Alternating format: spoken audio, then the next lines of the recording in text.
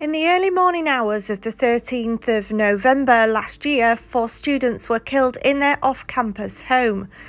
Who was responsible? Well, within a couple of months, Bryan Kohberger had been arrested for the murders of the four students, and now they build their cases against Bryan Kohberger. We have all wondered what the link was between Bryan and the girls. How did he know them? How did he know where they lived? And how long was he stalking them for? We know about the 12 pings where his phone was apparently in the area of 1122 King Road prior to the incident. But Bryan Kohberger went to a different university within 15 minutes, but a different university. So had they met through friends? Who knows? I'm going to bring a new theory to you today. Do you remember somebody beginning with H was interviewed on the TV? One of the neighbours in the street who apparently lived opposite the King Road residence.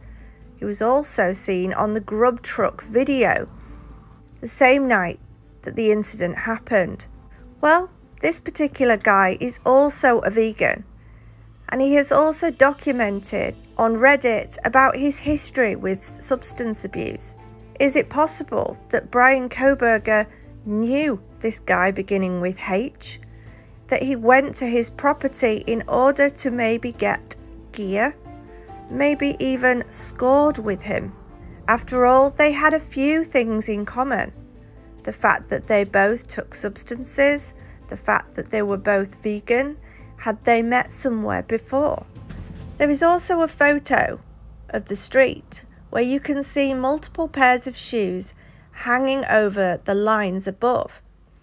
This is apparently, from my understanding, as I have been told by somebody who sold substances years ago, that this was a sign that there was somebody selling in the area. Did Kohberger visit the street in order to visit the guy beginning with H?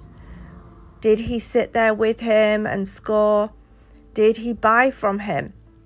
After all, I'm sure Kohberger will know that this guy is not going to come forward stating that he knows him and how he knew Kohberger.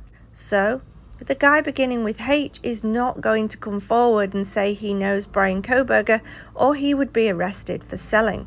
And Bryan knows this. So could this be the link?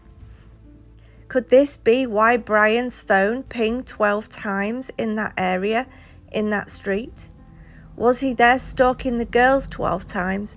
Or was he there at H's house buying substances and scoring with him? What do you think, guys? Let me know in the comment section and I'll be back with you again soon. Bye, guys.